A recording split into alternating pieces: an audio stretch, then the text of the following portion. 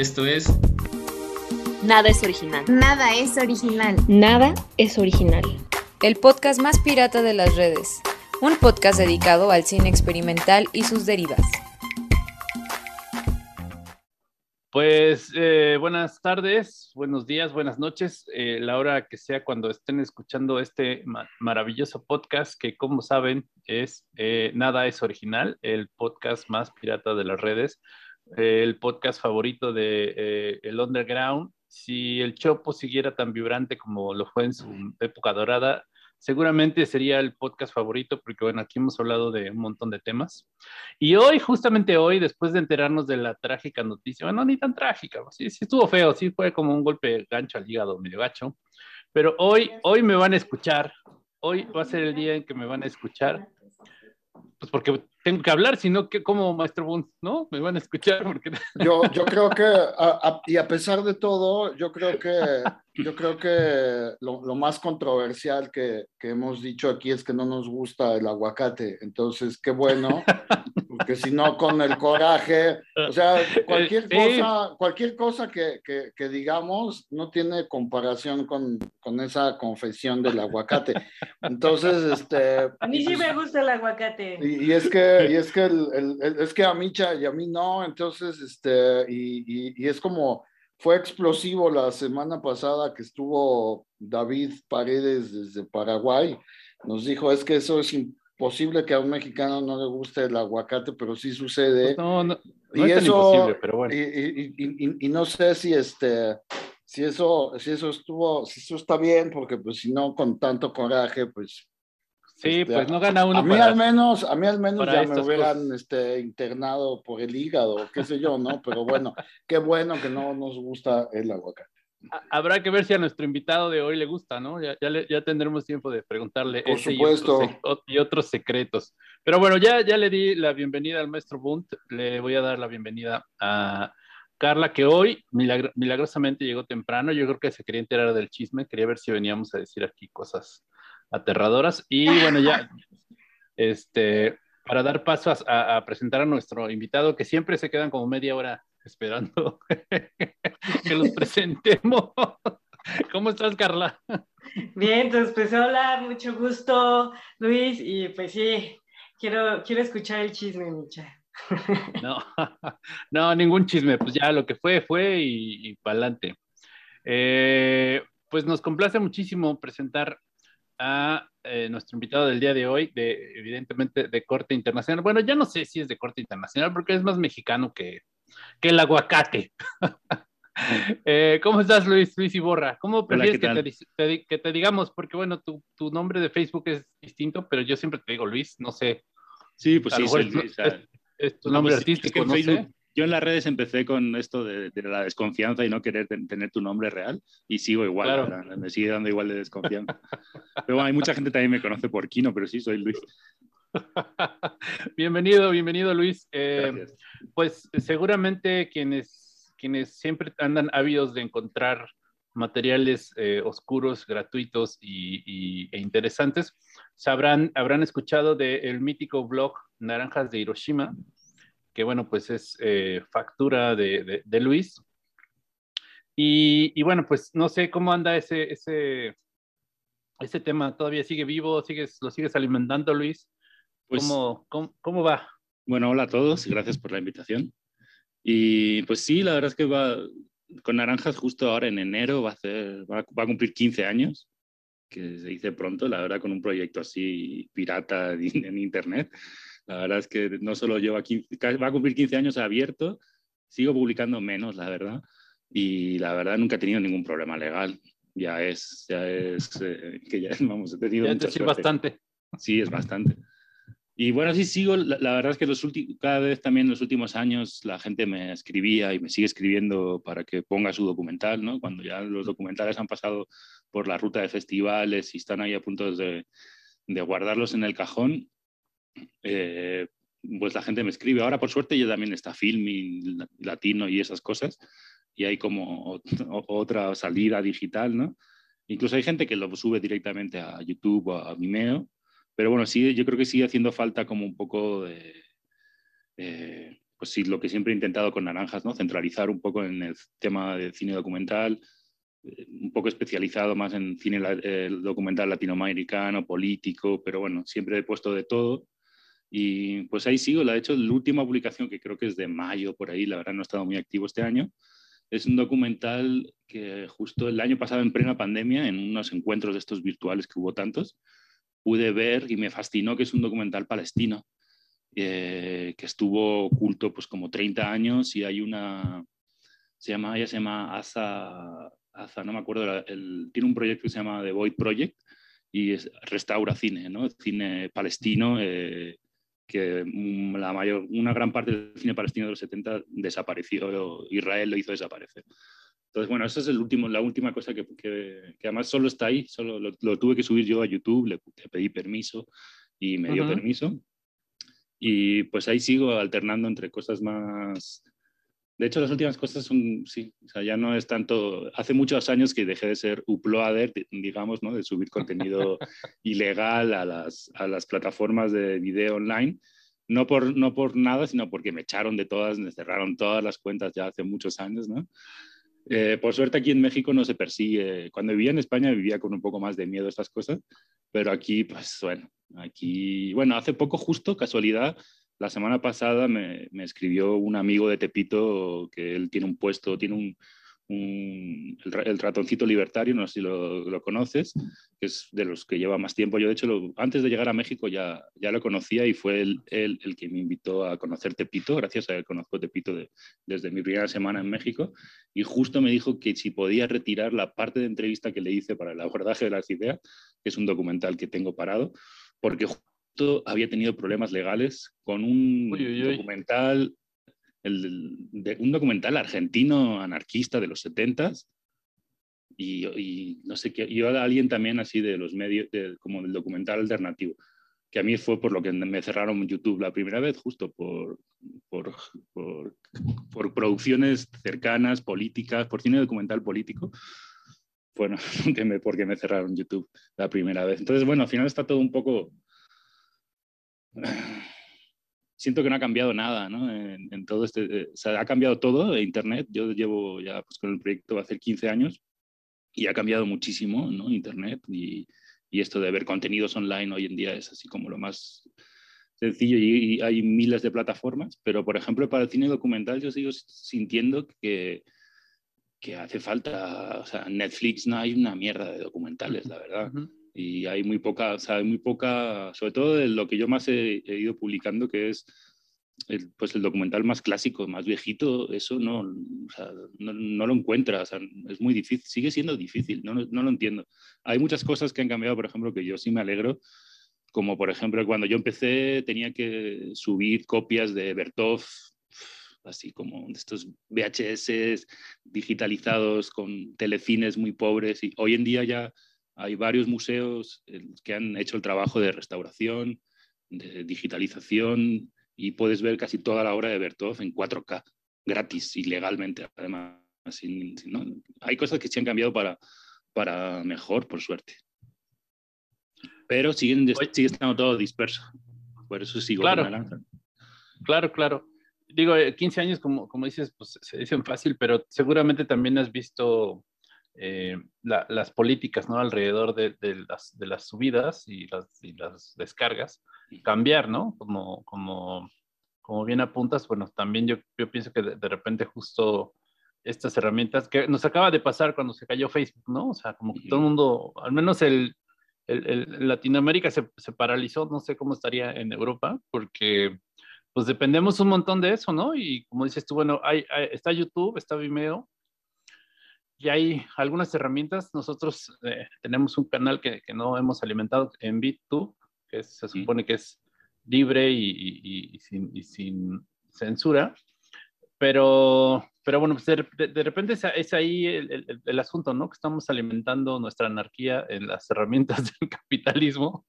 Y, este, y pues ese, eh, nos arriesgamos justo a eso, a que, a que nos cierren los canales, a que pero ¿de dónde crees que viene este? O sea, ¿es, es, comercial, es político? Pues es que, es que en el fondo es una combinación de todo. Eh, en el fondo, pues como dices, dependemos, y yo dependo totalmente, por ejemplo, una, o sea, Naranjas de Hiroshima es un blogger, es un blog de blogger, Y yo no, nunca lo he convertido a otra cosa porque no tengo la autonomía para hacerlo, porque no sé tanto de programación, ni además nunca he querido invertirle, porque Naranjas nunca me ha dado un peso. Entonces, tener un servidor, tener un... O sea, hay cosas que la autonomía, obviamente, y la libertad tiene su precio. Entonces, claro, todos tenemos... O sea, yo puedo hacer esto sin invertir un peso gracias a pinche Google. Pero claro, cualquier día, o sea, te cierran, te borran, te cancelan. La cuestión es siempre tener backup. Yo tengo backup y bueno, cualquier día que me puedan cerrar, pues lo puedo volver a abrir en otro lado. Eso es el tema. Y bueno, he estado intentando sacar libros cada año de, como de las publicaciones, pero eso hace como cuatro años dejé de hacerlo porque solo se puede hacer con una, una herramienta que es de pago y es muy, muy cara y ya no he podido volver a hacerlo, por ejemplo. Entonces, luego sí estamos limitados tecnológicamente. Luego, al final, el tema de la... Pues también como ha, evolucionado el tema de los... El algoritmo de YouTube, ¿no? Que te detecta ya absolutamente todo o casi todo. Eso es... No, yo cuando empecé con Naranjas, YouTube solo te dejaba subir videos de cinco minutos y yo, por ejemplo, en Naranjas no tenía nada absolutamente de YouTube. Hoy casi todo lo que tengo es YouTube o como mucho el OK.ru, este, la página rusa, o algo de Vimeo, pero... Y ya no hay, hay muy pocas plataformas libres para este tipo de cosas. Start, bueno, en archive.org hay también mucho material, por ejemplo. Claro. Y Archive es algo, es algo raro porque tampoco es una multinacional, es, ¿no? es, pero también cualquier día puede cerrar. Sí, desafortunadamente igual depende de, pues ahora sí que de la bondad de la gente, ¿no? Esa es una ONG, una especie de ONG que cualquier día le cierran ahí la, la iglesia abandonada, esa que recuperaron donde tienen sus servidores, cualquier día les cortan la luz y adiós.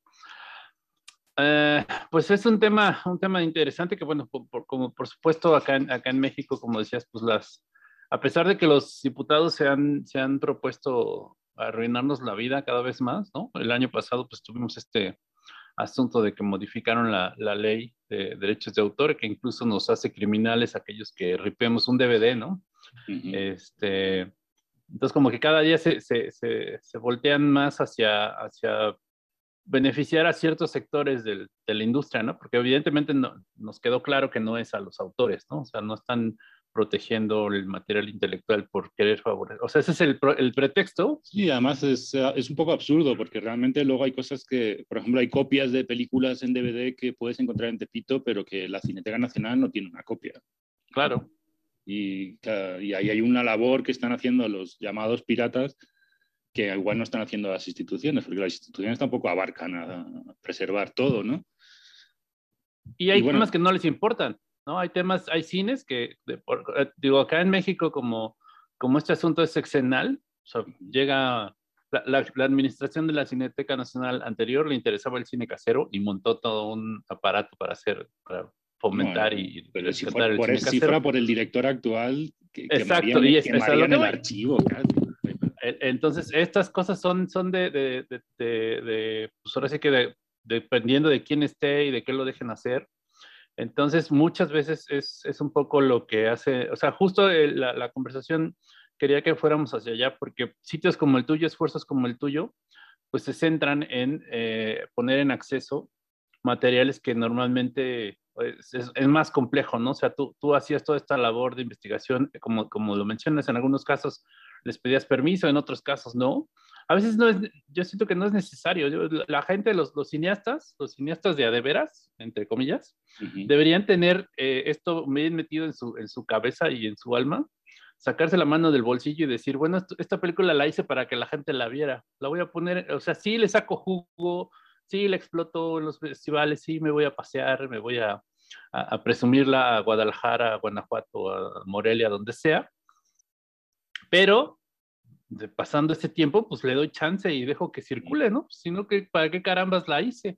Ese es uno pues de los, de los principales problemas, creo que del cine mexicano, ¿no? Que, que, de repente no se ve, o sea, nos quejamos de que, de que la gente, que en México no se consume el cine mexicano, pero pues si no lo dejamos también que circule libre y que la gente lo, lo pueda conseguir de, de las distintas maneras, pues entonces, no sé, no sé para dónde vamos. Pero bueno, yo quiero que el maestro Bunt nos diga algo porque estaba muy, muy preocupado por, por el tema y siempre tiene algo interesante que decir. ¿Verdad, maestro Bund?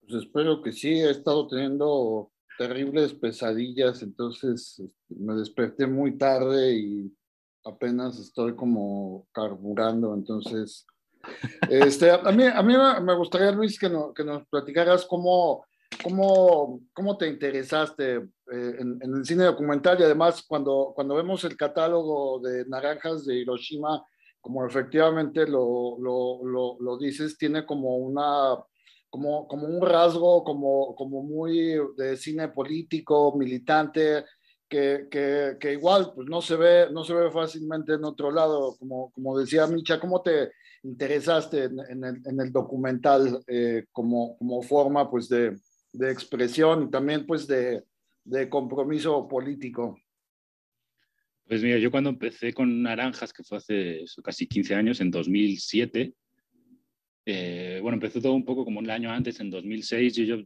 pues, yo esos tiempos vivía en Madrid y pues militaba en, en, en, varios colectivos de cine y de audiovisual, ¿no? a través de cineclubs y de generar contenido político, de marchas y de cosas así.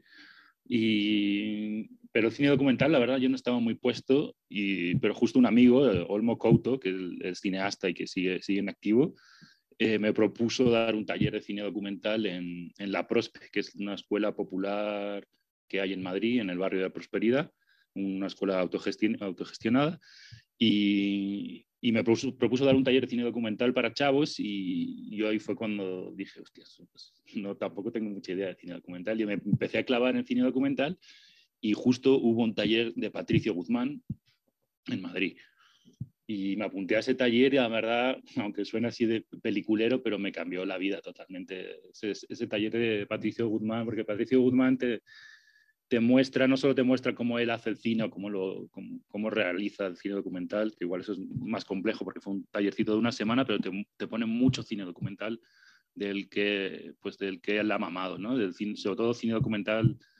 sobre todo el 99% de las cosas que nos puso yo no las conocía.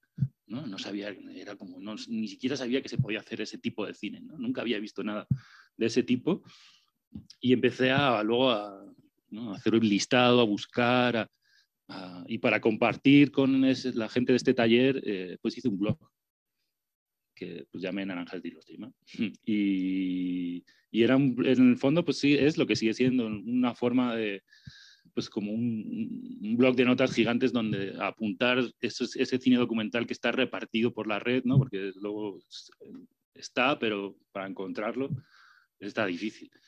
Y me propuse siempre que publicara un documental que tuviera su, su póster, una reseña no hecha por mí, sino buscar reseñas y buscar toda la información posible, ¿no? Para que tuviera, no fuera solo poner el documental y ya está, sino contextualizar un poco eso. Y pues así empecé, la verdad. Y, y, más o menos así sigo. O sea, en el fondo, esa, esa especialidad, digamos, de cine documental más político también fue porque a mí me interesa mucho y es, es para mí una forma de, de, comprender la realidad política de, pues, de muchos países. En el fondo, el cine documental te puede acercar a ver cosas de los 60, 70 en, en, toda Latinoamérica, ¿no? O sea, es que Argentina, Chile, eh, Bolivia, aquí México, o sea, puedes ver tantas cosas que te acercan a esa realidad política del momento, ¿no? El cine militante, lo que se estaba haciendo. Y la gente que se, ¿no? Una de las cosas que a mí me impactó cuando empecé a conocer este cine político, por ejemplo, fue Raimundo Gleiser, ¿no? Como un, un documentalista puede ser asesinado, desaparecido, y cómo intentan quemar su obra, y cómo esa obra perdura, y cómo esa obra sigue. Y, y para mí es uno de los referentes, ¿no? O sea, Raimundo Gleiser por, por su cine y por lo que él representa, ¿no? Porque en el fondo, no sé, uh, hoy siento que se ha perdido un poco, a día de hoy, siento que cada vez hay no sé si hay menos cine político o se hace de otra forma realmente el documental, aunque porque lo hay. O sea, yo este mismo año he puesto, puse un documental, un cortito documental de, de las granjas, granjas porcinas, en, creo que es en Yucatán, ¿no? que está siendo un, un, problema a nivel global, pero aquí también, aquí también está siendo un problema lo de las granjas, granjas porcinas. Y entonces, bueno, sí sigue habiendo cine documental político actual, porque obviamente las cosas hoy están igual o peor que antes, ¿no? Pero no sé, lo de, sí siento que hay, eh, igual también hay más espacios, ¿no? Ahora mismo para la, o sea, hoy en día el documental político igual puede caber en Docs, en el antiguo Docs de, de F, o sea, en el Docs MX puede caber más un cine documental más político o incluso en ambulante. O sea, sí hay formas, incluso, y hay, bueno, eh, hoy en día hay muchos, en México hay muchos cineclubs, eh, hay muchos, hay muchos eh, cines chiquitos, hay muchos lugares para ver un cine diferente. Obviamente no es algo masivo, sigue estando ahí el monopolio ¿no? de los cines, lo de siempre, pero no sé, igual me he perdido ya un poco de la pregunta. Pero bueno, sí, básicamente por eso fue por lo que yo empecé y, sigo, me sigue interesando, ¿no? Y sigue habiendo, y además lo que me fascina, por ejemplo, este último documental que te, os contaba que, que, he puesto en naranjas, el de Palestina, eh, Palestina, in, Palestina in, the Eye, se llama, Palestina en el ojo, eh, ese de, a ese documental, el que hizo la, la fotografía, que filmó ese documental también lo mataron, ¿no? Y es un documental que yo no conocía hasta el año pasado, así como o sea, sigue habiendo mucho cine por descubrir. A mí eso es lo que me fascina, que, hay mucho cine nuevo por ver, pero hay mucho cine viejo por ver y por volver a ver también, ¿no? O sea, hay cosas que... Y yo, por desgracia, para, por eso sigo sintiendo que hace falta Naranjas de Hiroshima, porque no hay muchas alternativas a ese, para ver ese cine documental más antiguo. O sea, como que parece que, no sé por qué, porque hay grandes documentales que deberían estar en las grandes plataformas, en 4K, y, yo los vería tan a gusto. Y yo, yo, creo que otra gente también, pero bueno, luego también están estas dinámicas ¿no? de Netflix que luego ves, ves, las cosas solo por las portadas, ¿no? Y ni siquiera sabes quién lo ha hecho, ni, o sea, no te Ni te preocupa, ni te preocupa quién lo hizo. Sí, no, pues como... Y no sé, y eso es radicalmente opuesto, ¿no? Pues lo, yo lo que hago en Naranjas, o por ejemplo, si te vas a Tepito, te van a contar la vida y obra del director y va a haber como más, más comunicación, ¿no?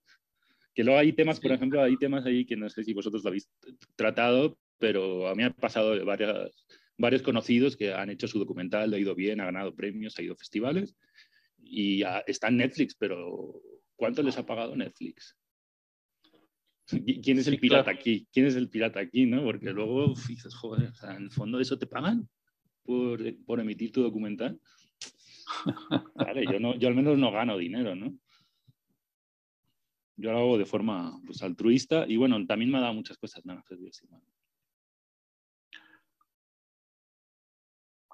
Claro, claro. Eh, digamos que el, el, lo interesante de todo esto, bueno, pues es justo el, la posibilidad, ahorita como dices ya cambió, ¿no? Ya, ya está Netflix ahí, que como, bueno, para, para el tema que nos ocupa en este caso, el documental, pues como dices, está, está frito, ¿no? Lo más cercano quizá podría, podría por ahí ser movie, film latino, pero de todas formas hay, hay cines que no, que, no que no llegan a, esos, a esas plataformas, ¿no? Como, como dices tú, la gente lo termina colgando sus trabajos eh, en YouTube o en Vimeo porque, pues bueno, no hay ese, esa, esa posibilidad de, pues, de llegar a estos, estos eh, públicos un poco más, más eh, concentrados que pudieran tener estas plataformas, ¿no? Eh, los, los, tratos que, que tienen también, digo, en Filmin Latino, pues es prácticamente la subes gratis, ¿no? Y eso, o sea, tiene, su, tiene la ventaja de que tiene pues una gran audiencia, afortunadamente se ha ido colocando, pero bueno, pues a ti no te reporta, no te reporta un peso, ¿no? Que bueno, sabemos que no, no se hace cine documental con el afán de volverse millonario, ni mucho menos, pero bueno, siguen siendo esfuerzos como el tuyo pues, fundamentales, ¿no? Hay, hay, ahora hay mucha más competencia, creo que está más compleja la cosa, ¿no? También, no solo por la cuestión de los derechos, sino por, digo, lo vivimos en esta, en esta pandemia, que este, que hay, hay demasiadas cosas sucediendo en línea, hay muchas, digo, te metes a Movie o a, cualquier plataforma y no sabes qué ver, porque está, está, hay tantísimas cosas que ya, ya, o sea, ese, ese punto estamos, estamos un poco eh, complicados. Y otra cosa que de lo que mencionabas que, me, que es más interesante es, es, también esta cuestión de que de repente las nuevas generaciones no, eh, históricamente han mostrado un desinterés por el pasado, ¿no?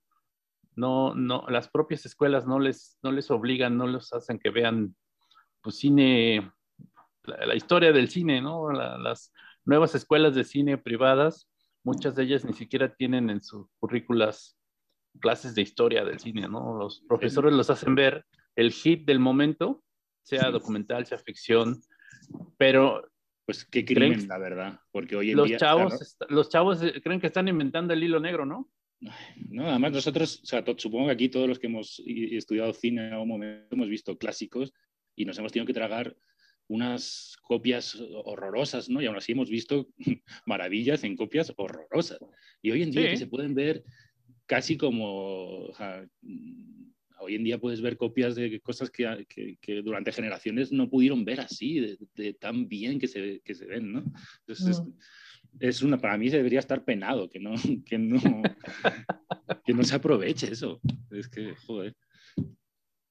Pero yo claro. creo que, ay, perdón. Sí, yo sí. creo que tiene que ver, eh, amigos, yo creo que tiene que ver con, también es una cuestión contextual, ¿no? Eh, creo que es algo, es un fenómeno que pasa no solo en el cine, sino en las artes en general.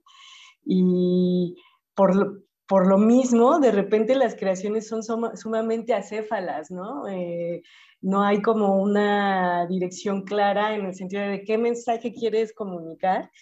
Y en el caso de lo que estabas platicando, Luis, de los documentales y todo este rollo de, todas las obras que se han creado a lo largo de la historia, que pues muchísimas no conocemos, y sobre todo porque creo que el documental eh, como que empezó a tener fama, por así decirlo, o gozar de popularidad, pero hace poco tiempo, ¿no? Relativamente.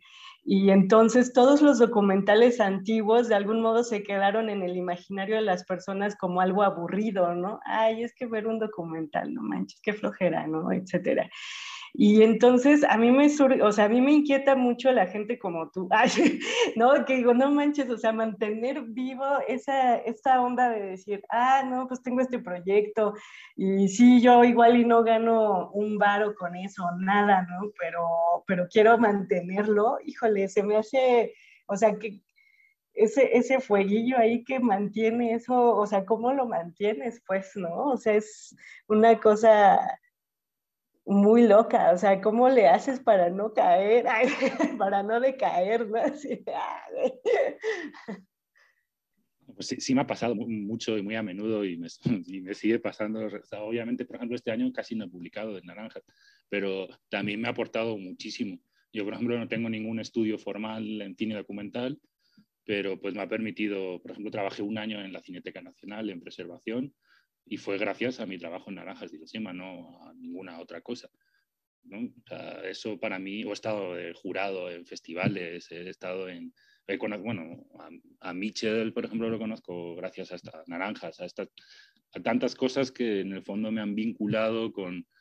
Además está curioso porque, te digo, desde trabajar en la Cineteca Nacional a estar en festivales, a lo más underground, ¿no? A tener contactos con colectivos políticos y con piratas, ¿no? Tengo muy buenos amigos que viven, o sea, que son piratas, que viven realmente de eso. Y, y todo gracias a Naranjas. O sea, realmente me ha aportado muchísimo. Para mí es una plataforma de retroalimentación. O sea, yo lo uso como para, para mí y para a quien le sirva, ¿no? Y por suerte sí sé que a mucha gente le ha servido a nivel formativo. Y para mí eso es lo que vale, que en el fondo que pueda ser, sí, porque yo sí, yo soy, no sé por qué, pero yo me, sí me enervo y me enciendo de, coño, como está esto y no, la gente no ha visto esto, qué poco ha visto esto, esto se tiene que ver, ¿no? Y sigo, sigo teniendo ese espíritu de que hay cosas que digo, pues es que esto, o sea, no puede ser que me lo quede yo ir solo, a mí a qué copia conseguí, o mira, esto, no, esto lo tiene que ver todo el mundo. Y, por ejemplo, me, pasa, me pasó gracias al trabajo que hice en la Cineteca, tú puedes ir, o sea, pude, conocí la biblioteca de la Cineteca Nacional, que yo casi no, no, no, la conocía, y a día de hoy puedes ir y tienes ahí a Lalo, que es una persona excelente que te va a tratar muy bien y que y puedes acceder a todo el acervo de la Cineteca Nacional gratis. Puedes ver todo, o sea, todo. y en 4K lo que acaban de sacar del laboratorio. ¿Eso cuánta gente lo sabe? ¿Por qué no se sabe más eso? O sea, ¿por qué no se hace más difusión de ese patrimonio nacional? ¿no? ¿Por qué solo además hay una biblioteca aquí en la Ciudad de México? Se debería estar en todos los estados de la República, ¿no? O sea, debería haber, todos los mexicanos tienen derecho a acceder a ese patrimonio. De hecho, todo el mundo debería tener acceso a ese patrimonio. Entonces, bueno, yo con el, con el tema del patrimonio sí me pongo un poco encendido, ¿no? Es como, coño, esto es, esto es nuestro, esto es de todos, ¿no? Es una cuestión un poco de, o sea, yo soy español, soy gachupín, pero también es mío ese patrimonio, porque esto es algo humano, ¿no? Es algo que todo el mundo debería tener acceso a, a todo ese patrimonio. Y bueno, igual por eso sigo, ¿no? Porque sigo teniendo esa, esa pasión. No, pues está genial porque sí, siento que, o sea, así como con Micha, ¿no? Con Bud, ¿no? O sea, que, que estos proyectos que son como tan, que surgen como por una pasión, ¿no? Y de algún modo son como, pues, del corazón, por así decirlo.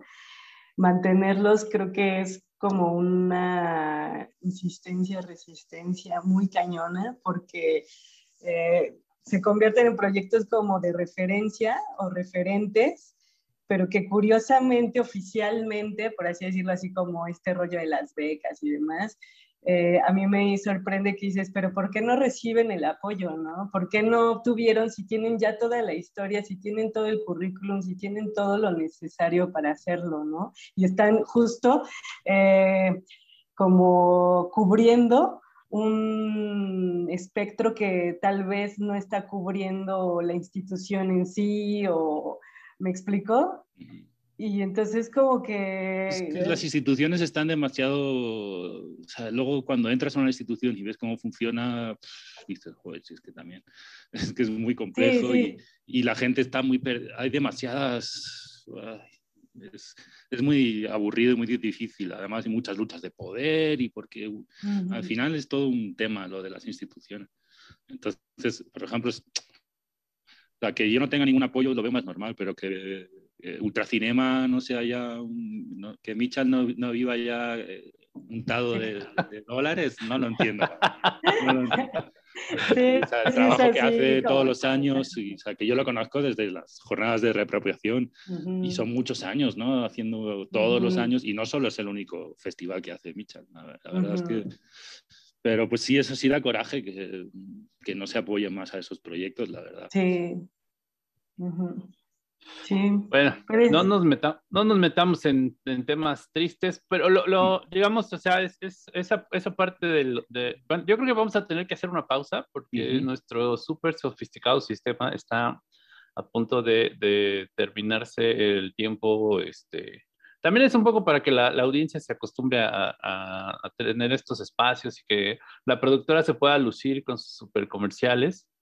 Y este que le echa muchas ganas ahí a, buscarlos en, en, el YouTube.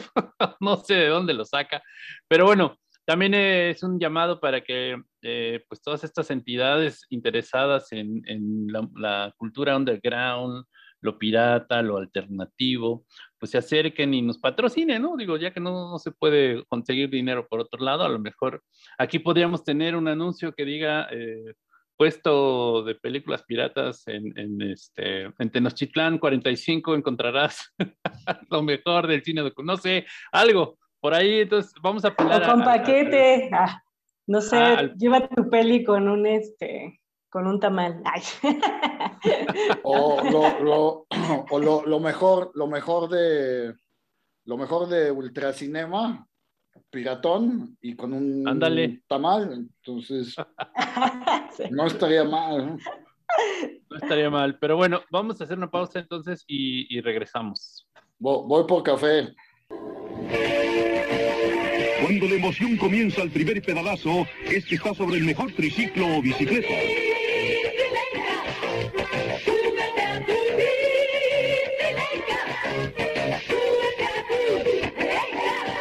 La emoción siempre comienza el primer pedalazo sobre una bicicleta. Con la ley de la calidad. Estamos de regreso aquí en Nada es original. Estamos con Luis Iborra, bueno, aquí no.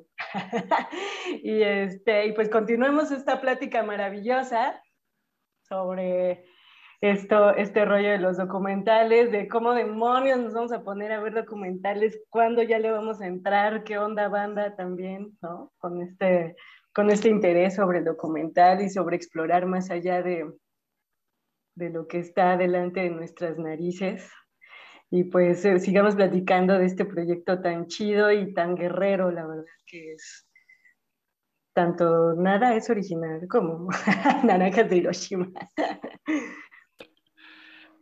Eh, sí, pues aquí seguimos con Luis. y, bueno, hace, también te comentaba que me, gustaría platicar contigo acerca de, lo que pasó en la semana en España, ¿no? Tú ya nos decías que cuando estabas por allá, sí, sí te, te, lo tomabas con un poco más de cautela, pues porque en España sí están, o sea, no sé qué les pasa, pero sí está mucho más, más dura la ley, ¿no? O sea, si acá, acá nos quejamos, pero de repente, pues como igual por la idiosincrasia del mexicano, pues nos las arreglamos para, para pasarnos por el arco del triunfo las, regulaciones, porque al final de cuentas es el, mismo atole con el dedo que nos dan nuestros gobernantes, pues se los damos nosotros fingiendo que, les vamos a hacer caso, ¿no?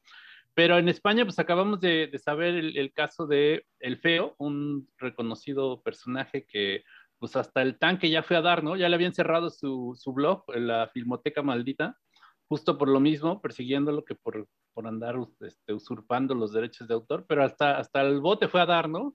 Este, pero bueno, cuéntanos un poquito cómo está, cómo está la cosa por allá. Ahora sí. Ahora sí ya te escuchamos, sí ya. Ah, pues bueno, te decía que más que el, bueno, la ley, que la ley yo creo que más o menos es igual aquí y allí, lo que pasa es que la, la, la aplicación de la ley es, sí es diferente allá que acá.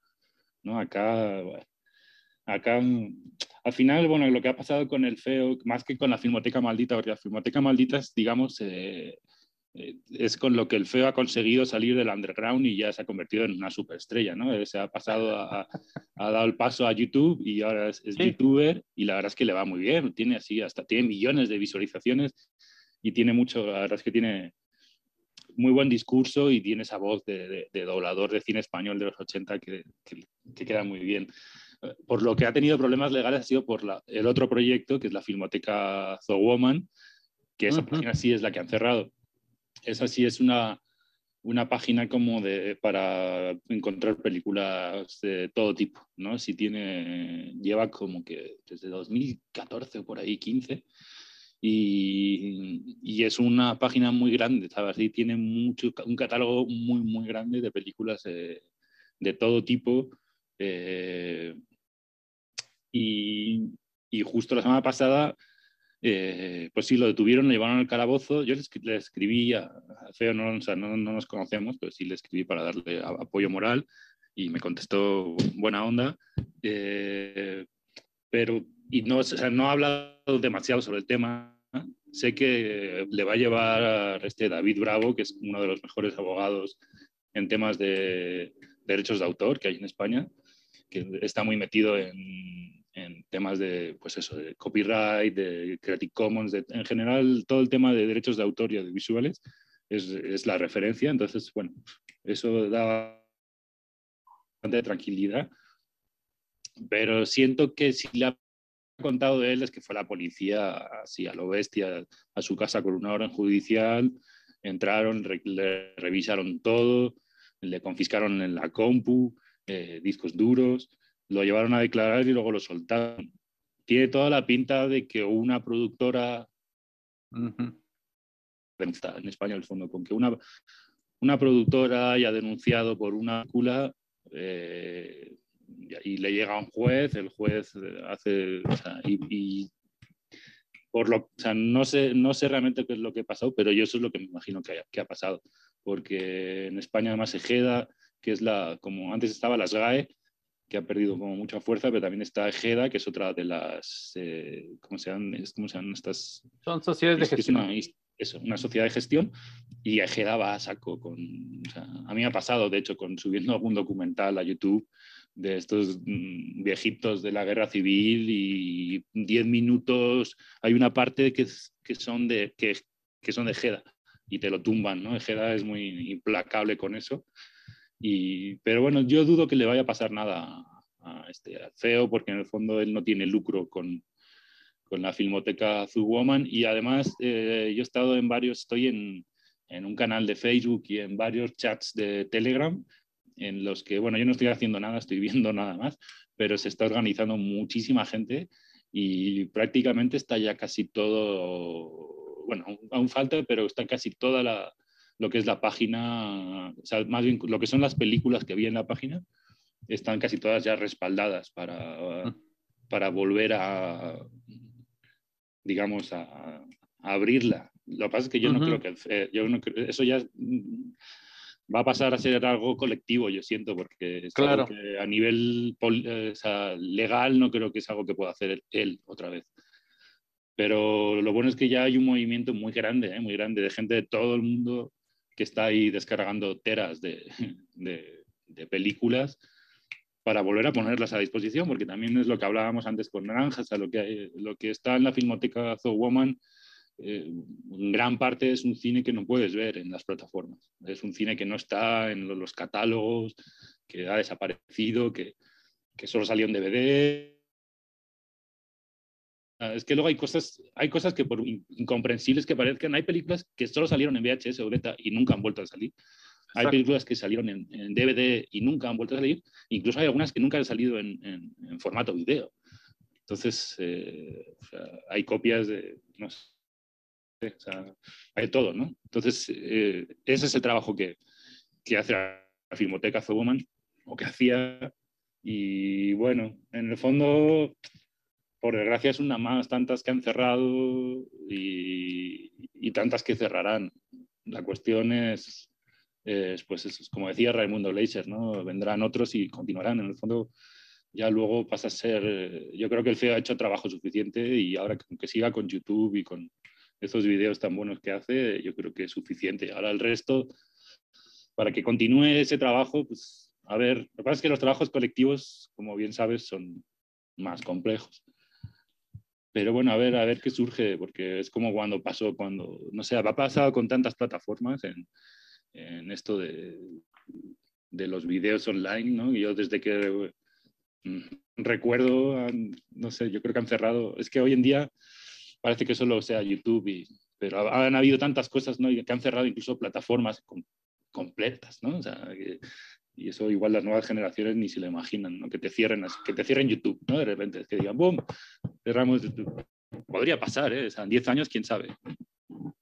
Sí, digo, pues es, eso está, es, es, interesante porque también va en paralelo con, justo con, con los sistemas de descarga, ¿no? El, el, el, Napster famoso que todos disfrutamos en su momento era, era la, la maravilla, hasta que, pues, como dices tú, por, por cuestiones, eh, pues, eh, no sé, incomprensibles, de repente, pues, los señores de Metallica, como no, no se ganaron un millón de, dólares más de los 200 que se ganan al año, pues se, les ocurrió ir, ir, sobre la gente de Napster y bueno.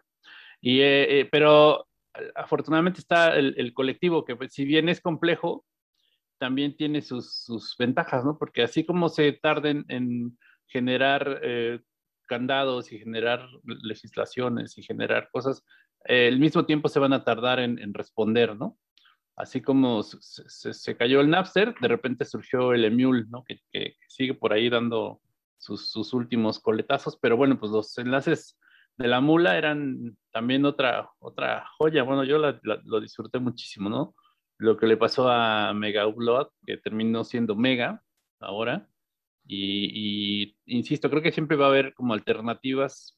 Y, bueno, eso, eso es, es, es, está padre, pues saber que, que la gente no se rinde y que va a tratar de rescatar lo que, lo que, lo que en su woman había y bueno, aunque siempre está esa, esa cosa, ¿no? De, ver cómo, cómo se organiza, pero bueno, por lo pronto es eh, destacar, ¿no? Justo esa, esa parte, eh, pienso yo que es esa necesidad que tenemos de compartir cosas, ¿no? Como que es inherente a todos los que nos gusta el audiovisual, sea el que nos guste, sea el, de, el, el tradicional o el experimental o lo que sea, tenemos esa, esa necesidad, no sé, no sé por qué, psicológica. no nos querían de chiquitos y queremos compartir lo que sea. Y en tu caso, pues es interesantísimo esta, esta labor, como decía Carla, pues sí, no, no es, no cualquiera le entra ese, ese toro por todas estas cuestiones que ya hemos platicado, ¿no? Legales, económicas, eh, de seguramente pues te puedes dedicar, podrías haber dedicado tu vida a otras cosas que sí te dejaran dinero, pero no, tomas ese, ese, ese camino. Y ahora eh, quiero llevar la conversación hacia esta nueva faceta que, que, sé que estás emprendiendo, ¿no? Ahora ya te, te volviste en uno, uno, más de los arqueólogos este, audiovisuales de, de, de, este país, que pues van conectados, ¿no? O sea, a, a, lo mejor en algún momento pues andabas buscando eh, entre las ruinas ahí de, los bytes, rescatar alguna joya documental, pero ahora ya, ya eh, por, lo, por, lo, que veo, estás muy, muy clavado tratando de, encontrar esas joyas perdidas en, en, los mercados de pulgas, ¿no? También. Pues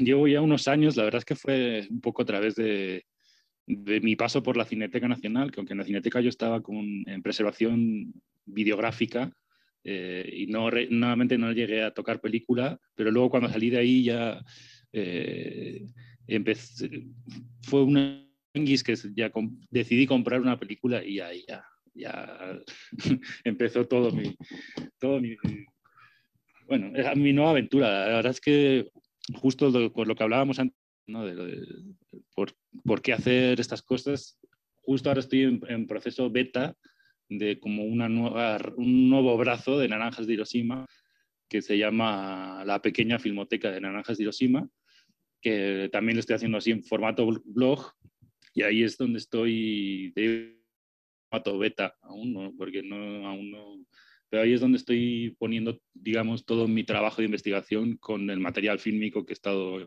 encontrando en los últimos años.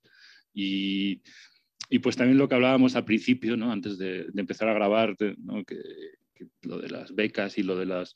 Yo justo apliqué para el programa Ibermemoria y no me han agarrado en preservación y, y, es muy difícil ¿no? estudiar ese tipo de cosas. Entonces yo también dije, bueno, pues si no puedo estudiar estas cosas porque es tan difícil, y pues voy a dedicarme a, a, a conseguir esas películas y investigar yo, yo mismo, ver, tocar, eh, ¿no? analizar y, bueno, pues en, en, ese proceso me he ido pues construyendo mis herramientas. Aquí tengo mi, esto es mi revisadora, es una revisadora que me construí de madera para ver cualquier formato, aquí mi, con mi cajita de luz y bueno, estoy en, proceso de convertir esto también en digitalizadora y en el fondo para mí es también lo que, lo único que quería yo demostrar con naranjas es que, bueno, no necesitas dinero para hacer algo así, o sea, y, y, con esto eh, también, o sea, en el fondo hay muy poca información de, de, las propias instituciones de cómo son los archivos, ¿no? Cómo es una, cómo es una película realmente, qué, qué características tiene, cómo son las colecciones, qué, qué, es, qué es, es realmente un archivo por dentro. ¿No? Y eso siento que las instituciones también, como están muy pendientes o muy, están muy volcadas en, en otras cosas, tampoco tienen, y ahí al final, uh, sí, no, no, hay interés tampoco eh, en que, la, que, el público final, o sea, el público final con que vea la obra digitalizada suficiente, ¿no? Pero yo siento que también es muy importante que la gente pueda ver más allá de la obra digitalizada, ¿no? ¿Qué, qué es esa película? Que además es que el cine, igual que el cine documental, ¿no? con el que he estado clavado estos últimos 15 años, te permite ver otra cosa, ¿no? Que, que, no te permite ver nunca la ficción, porque la ficción siempre es un impostado, es un decorado, es un... Y el cine documental permite ver más o menos, ¿no? Eh, ciertas realidades en, ciertos, en el, en el momento exacto, en el lugar donde pasó, el cine casero, ¿no? que estoy, en el que he estado últimamente clavado y recuperando obras, te permite, ese sí te permite ver cosas y lugares que, que ya no existen. ¿no? Y te permite verlos además en, en calidad Kodachrome. Es algo como, yo sigo sin entender cómo el cine casero tenía esa calidad que luego no, no sé, es que eso es cine, sea, es, es, es, no sé, es hermoso cuando puedes ver ese material, lo puedes ver de cerca, lo puedes ver esa definición, esos colores, aunque esté maltratado y tenga, es increíble. A mí me, me fascina eh, tener cosas de, no sé, de los años 40. bueno, incluso tengo lo último que compré, el que ya paré, ya tuve que parar, nada más me mudé, este año pasado ya no me cabe casi nada, pero fue una pequeña colección de, de 9 milímetros, ¿no? de Baby 9 milímetros, algunas películas comerciales, pero como cuatro películas caseras. Y es algo que aún no, no he tenido tiempo de, de, realmente investigar bien y digitalizar, pero mm, yo creo que sí son de aquí, de la Ciudad de México, pero son de los años, pues es Pate Baby, máximo 40. Entonces era como entre 20 y, y 40. Es otra ciudad completamente diferente, ¿no? Entonces, eh, no sé, a mí eso sí me parece fascinante también. Eh, he estado en varios tallercitos, ¿no? Estuve con, este, con Ezequiel Reyes y con Miguel Ángel ahí en la UACM y en el, tomé un taller muy interesante en el, en este, en el Luis Mora con, con este, con, con Rocha. Con, con Gregorio. es que luego siempre le digo, siempre le digo el nombre de su ah, hijo, pero no. Eh, eh, Gregorio, Gregorio. Gregorio Rocha, sí. Y Gregorio yo creo que esa, esa, esa pasión que me pudo transmitir Licio Guzmán con el cine documental, eh, te la él te la transmite con los archivos. Gregorio mm, es, no sé, es como el Indiana Jones ¿no? del, del archivo de aquí de México. Es, muy interesante y muy apasionante, ¿no? Y realmente él, él ha hecho cine ya con ese, con ese archivo, ¿no? Entonces, eh, yo ahora estoy en ese proceso en el que no estoy, como que no me interesa tanto hacer cine con, con ese archivo, sino que me interesa más aprender de ese archivo. ¿no? Estoy, y estoy aún en proceso de aprender y mi idea es compartir ese aprendizaje sobre el archivo en este nuevo proyecto que se llama la Pequeña Filmoteca. Buenísimo, pues fuiste, fuiste tocado por la magia del, del, archivo, porque en realidad es eso, ¿no? O sea, una vez que se te, se te contagia ya no hay manera de, de escapar. Y sí, el, es otro de los, de los temas que nos han interesado. Hemos, este, eh, desde el 2014 tratado de, de, hacer, poner nuestro granito de arena para difundir el cine casero. Y, y pues es, es, es, un, es, una cosa fascinante, como dices tú, los, cómo, cómo, sobreviven esas películas, ¿no? Cómo la, los colores vibrantes del Kodachrome, las temáticas, incluso que pues para otras para la gente, yo, yo siempre digo que las, el cine siempre tiene respuestas a tus preguntas, solo tienes que hacer las preguntas adecuadas, ¿no? Entonces, en este caso, pues las películas caseras tienen un montón de, de preguntas, ¿no? De respuestas a, obviamente, pues a preguntas interesantes, encontrarás ahí respuestas. Puedes, eh, eh, son máquinas, pequeñas, pequeñas ventanas al pasado.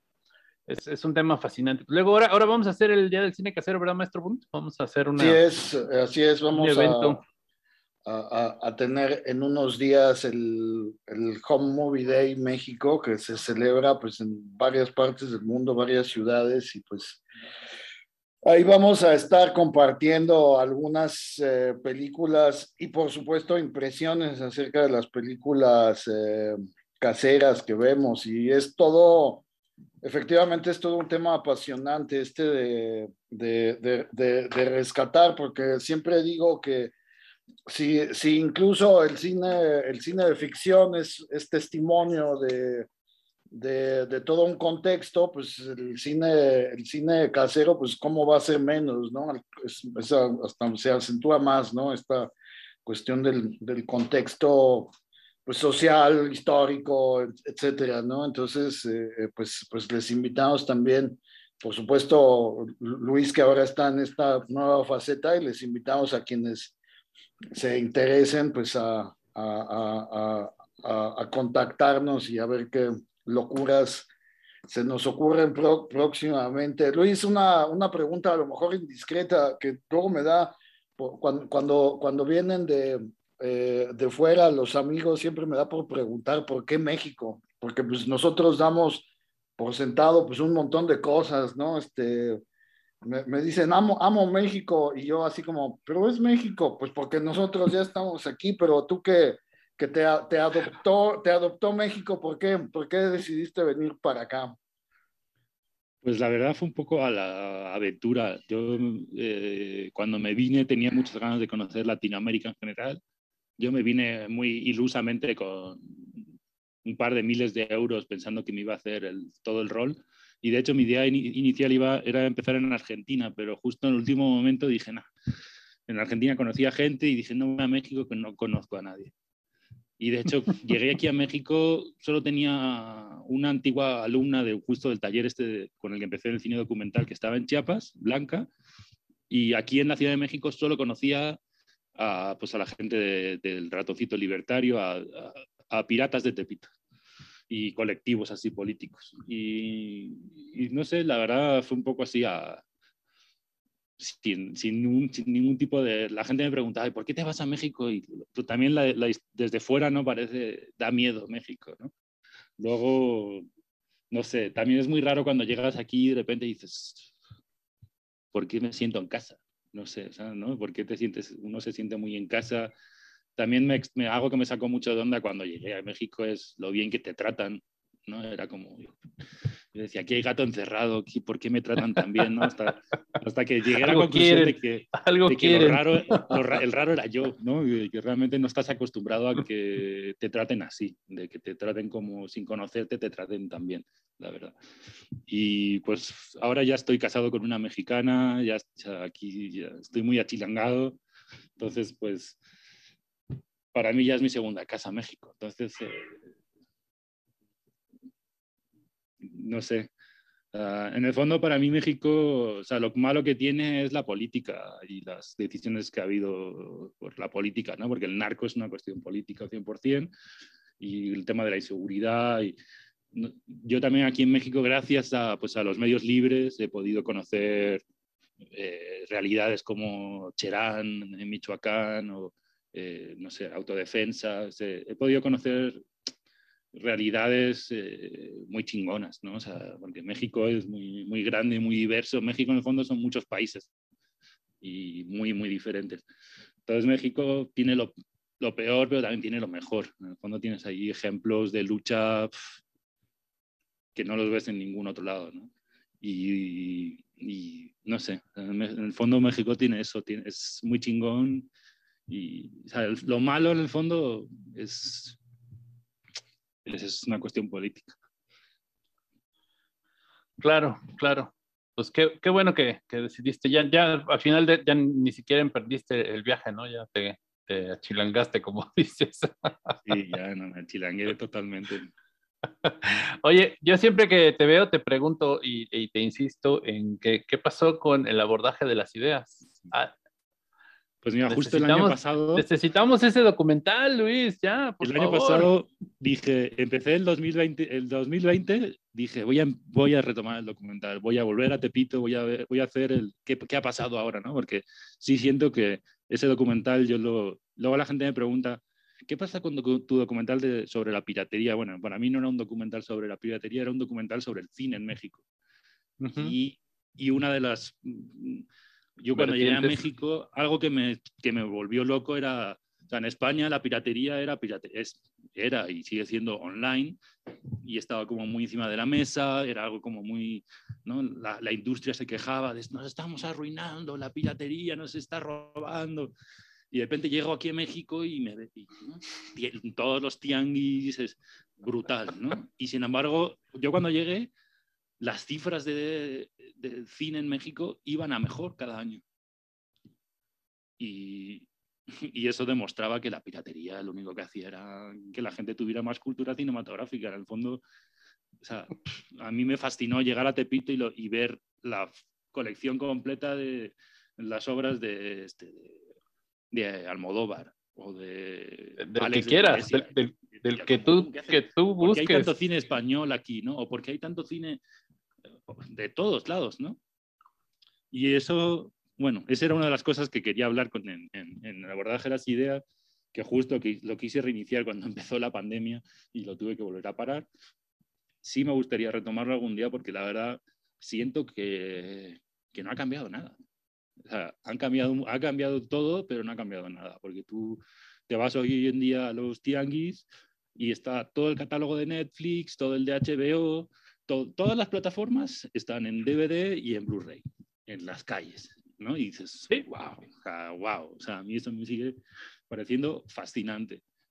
Entonces siento que no, en el fondo no pareciera que pareciera que pues ya dices, bueno, la gente tiene Netflix, la gente tiene HBO y pero sí, tienes toda la razón, o sea, acabo de ir a la Plaza de la Computación y te siguen vendiendo las torres de, de, DVDs como, como si fueran tortillas, ¿no? Y, y entonces, y sí vas a cualquier mercado y tienen, ahí sí, ahora sí que dependiendo de, de los gustos del público local, pero bueno, los, los éxitos de, las plataformas están en DVD. Es, es, algo que no, no, o sea, no, eso no, no va a pasar. Creo que lo único que te venden en, en USBs es música porque sí he visto que en varios lugares te venden 300 gigas de música, ¿no? O sea, no sé cuántas, 32 eh, gigas de música, no sé, o 300 canciones más bien, ¿no? Y, pero el DVD sigue rifando, ¿no? Sigue, sigue rifando, sigue por ahí.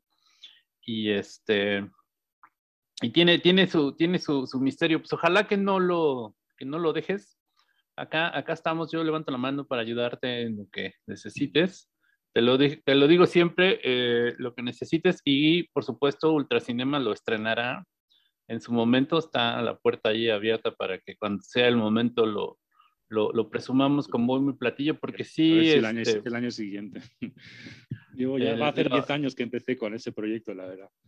Mira, pues ya, ya, ahora sí que ya es un buen número para, para darle, darle cierre. Y, como dices, pues plantearlo así, ¿no? ¿Qué pasaba hace 10 años cuando empecé y qué pasa ahora? Creo que puede ser un, punto de vista. Mira, justo enlazando con lo que hablamos antes, porque en el, en el abordaje de las ideas aún lo tengo medio activo en redes y publico cosas y, y encontré un, un artículo de un, una visita justo a España el día después de, no sé si fue el mismo día o el día después que detuvieron al feo, fue el presidente de la, ¿cómo se llama este? De la MPA, la, Motion, la Motion Picture Association, no sé si el presidente, uno de los jefes jefes, a recibir una condecoración de la Policía Nacional Española. ok, no, bueno. El mismo día o el día antes que detuvieron al feo. ¿no? dices, mm, ahí está todo, al final hay mucha relación, ¿no? Con esas cosas. Qué horror. Ahí para que la gente sepa, pues básicamente el, el brazo político del, de Hollywood, el, brazo ejecutor de cierta manera de todas estas, o brazo vigilante más bien, ¿no? De, de, de, todas estas cuestiones del copyright, de los derechos, es la MPA, ¿no? Ellos son los que se encargan ahí de, de, decirle al FBI, este es el que se está pirateando, este así, que se vea. Eh, y pues igual ahí, ¿no? A lo mejor hasta para quedar bien. Ay, fíjate que agarramos al feo, aunque sea solo para presumir que, no, no sé, qué, cosa tan, tan aterradora. Pero bueno, pues eh, Luis, ha sido un verdadero placer eh, escucharte, que, nos compartieras tus, tu, tu, pues que tu, tu trayectoria con, con, Naranjas. Por favor, necesitamos ese documental. Entonces no lo, no lo, no lo, no lo prolongues más. Chicos, no sé, Carla, Antonio, si quieren algo que quieran eh, decir ya para antes de irnos. Yo, yo, sí, yo sí quisiera insistir en la pertinencia de, de, distribuir cine y ahora que retomas el tema del DVD, yo sí soy pues relativamente old school porque tengo mi colección de DVDs, tanto piratas ARG como, como originales que bajaron de precio enormemente, entonces pues eso ya puede uno con, eh, amasar una colección más o menos decente. Y sí me gustaría insistir en, en la distribución en DVD y, y, y, un tamal bajo el brazo y con eso yo creo que ya podemos empezar a desayunar y, ah, hablar, y hablar muchísimo. No, sabes que me, me, acabas de dar una idea de para ahora que vamos a necesitar hacer algún tipo de campaña de recaudación de fondos para Ultracinema. Eh, vamos a hacer un DVD con lo mejor de lo más destacado de los 10 años y que venga acompañado de un itacate o de un taco acorazado, ¿no? Acá estilo, estilo Tepoztlán. Porque, ¿Por qué no? ¿Por qué no? Sí estaría, sí estaría el, el festival será acá en Tepoztlán y ya ponemos a la productora que produzca los itacates y los tacos acorazados. Y, y, y, Ella que es teposteca. Ella que está azteca de, ah, de, nacimiento. Pues, pues sí, sí, Glicerina, que, que, fue parte de nuestro querido y admirado eh, Antonio Arango. Eh, a, él sí le mando saludos, otros personajes mencionados aquí no. Este, pero, este, pero, eh, pero pues bueno, este, pues si estuvo glicerina, ¿por qué no puede haber glicerina número 4 con el itacate, no? Ya, ya se me está antojando y, y pues ya este, en algún momento tendré que ir allá a Tepos para, para comer algo rico. Y pues, pues eh, nada más agradecer a, a, Luis, que, que, sí, no nos conocemos personalmente, pero nos hemos eh, eh, topado en Facebook y, y, pues hemos visto proyectos, publicaciones harto interesantes y pues sí, este, sí, el, el, a, a, mí me sigue sorprendiendo el catálogo de, de las naranjas de Hiroshima, porque bueno, ahí hay cosas que de plano ni Dios Padre puede, puede conseguir. Entonces, este, gracias Luis por, por tu tiempo, por revelarnos algunos secretos y pues igual estamos en, en contacto y, y pues, eh, pues Carla, a ver, no sé si tenga algo que decirnos o si nuestra productora tenga algo que reclamarnos por andarla comprometiendo a hacer itacates, pero es para una buena causa. Yo, pues, nada más agradecer tanto a Luis como pues, a Mincha, a Bunta, a Dani, a mí. Ah, no, no, no, no este, agradecer este día y, pues, sobre todo, pues, también el que nos hayas compartido eh, tu experiencia y, pues a mucha banda, ¿no? Que no, no, todo el mundo conoce este proyecto de Naranjas de Hiroshima ni, ni el nuevo proyecto que estás armando pues creo que es bien importante también darle difusión y que la banda se acerque, ¿no? Porque no tienes que ser un erudito ni mucho menos para decir, va, voy a ver un docu, ¿no? Entonces, saber que hay cosas tan accesibles creo que es súper importante. Y pues muchas gracias por tu chamba, muchas gracias por compartirnos también este, como tus anécdotas y, pensamientos y pues gracias amigos. Ay, Carlita, Carlita. Pero bueno, pues sí, eh, Luis, la verdad estuvo interesante la, conversación. Sabes que acá eh, Ultracinema este es tu casa. Igual si tienes algún clip interesante que ya hayas podido ahí digitalizar con tus, con tus, este, con este nuevo proyecto de clip de, de, cine casero y nos lo quieres compartir, pensamos hacer una especie de, de evento en donde vamos a transmitir mientras proyectamos y tendremos ahí quizá el espacio para, para poder algunas cosillas que están digitalizadas y ya hacemos anuncio de... Incluso te podemos invitar a que te enlaces ahí a ver que nos platiques tú de... Pues ya, tengo en, en, mi nuevo canal de YouTube de la pequeña filmoteca, ya tengo subidas algunas cosas tanto de cine casero como una pequeña colección de VHS y Betamax también, que de los que puedo sacar ahí cosas interesantes.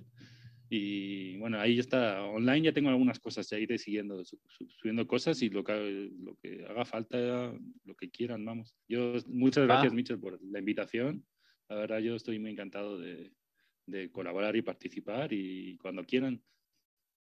Buenísimo. Pues eh, pues bueno, muchas gracias a Luis, a Antonio, a Carla, a, Daniela, la, productora de este programa. Fue eh, interesante descubrir que sigue habiendo gente que a pesar de, pues a pesar de los pesares, a pesar de que, de que no, no, no, no, no nos la ponen fácil, tenemos esta ilusión por compartir lo que sabemos y, y, y tratar de, pues de cambiarle el, el panorama al a las personas interesadas, ¿no? Nosotros desde la trinchera del cine experimental, Luis abonando por ahí por el cine documental y, y, no nos vamos a no nos vamos a dejar caer porque de repente pues no sucedan las cosas que esperamos. Seguiremos en lucha. Ya nos decía Mariela Cantú, solo ¿cómo era?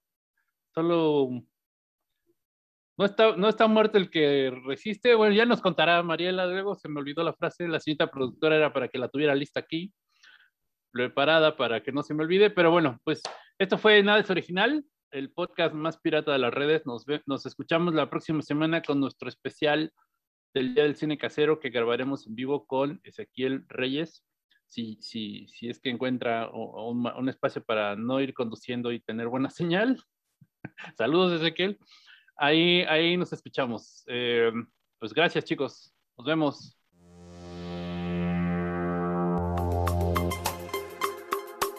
Esto fue Nada es original. Nada es original. Nada es original. El podcast más pirata de las redes. Un podcast dedicado al cine experimental y sus derivas.